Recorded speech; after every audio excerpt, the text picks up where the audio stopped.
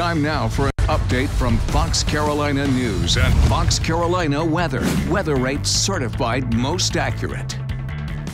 A good Monday afternoon. I'm Cody Alcorn. We're following the very latest on the Russia Ukraine situation unfolding. Of course, uh, Vladimir Putin addressing his nation, uh, talking about what is planned in the near future. And the president just coming out, President Biden here in the U.S., saying that they are going to soon be issuing an executive order that will prohibit new investment, trade, or financing by U.S. persons to, from, or in the so called DNR and LNR regions of Ukraine. That's just coming out uh, from the White House and also from the Associated Press.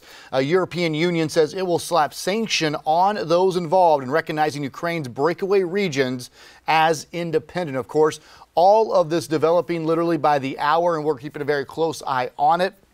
Uh, today and uh, yesterday, the U.S. telling any Americans in Ukraine to get out immediately as they still believe a invasion is imminent. So uh, stay with us. We'll have continuing coverage at 4, 5, and 6 this afternoon on Fox Carolina News. And of course, uh, right here at foxcarolina.com. But that's really what we are following uh, in the international news. And of course, locally, you can find out more here inside our free app and at foxcarolina.com.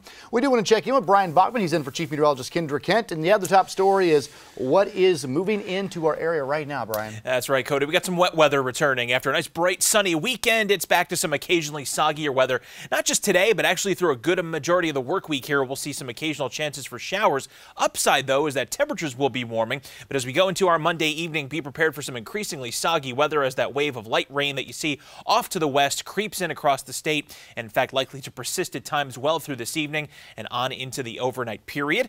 Don't forget to follow our continuing coverage coverage throughout all of our newscasts. I'll have your latest forecast all throughout this evening. Download the Fox Carolina News app and follow us on Facebook and on YouTube.